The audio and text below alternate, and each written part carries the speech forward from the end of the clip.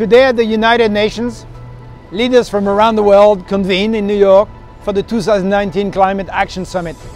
Climate change is one of the largest threats we face today as a global society. JCDecaux's DNA is to provide innovative solutions for city and transport infrastructure at no cost to the taxpayer.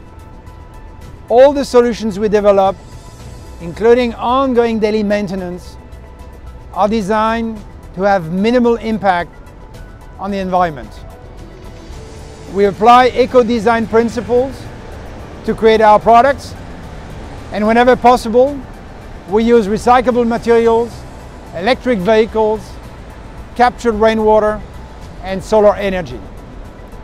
Our most eco-friendly product innovation is the free bike sharing system which we pioneered over 15 years ago, paving the way for a worldwide bike revolution that millions of people benefit from today.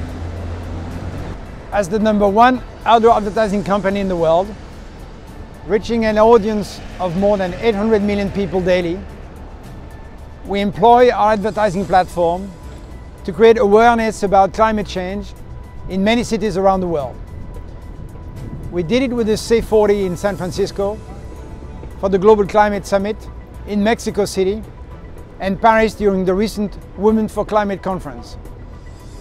And we are doing it now in New York City with this artistic poster from the Danish designer Per Arnoldi called Warning Global Warming. Tackling climate change is a responsibility of us all. Solutions are in the hands of each person, every business. We are all stakeholders with a role to play.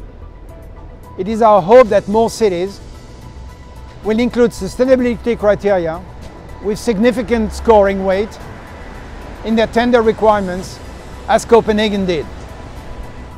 It is important to lead by example on this issue. There is no compromise.